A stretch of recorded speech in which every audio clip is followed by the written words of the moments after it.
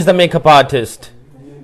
We are in quarantine. She's the makeup artist. A couple of years back, she done my makeup, and um, I put that one on Twitter. You guys really liked it, and today she forcefully she said to me that I, she wants to play with me, and uh, she brought uh, that all my new getup, and um, she did uh, my makeup and um, the new wig, my new hairstyle.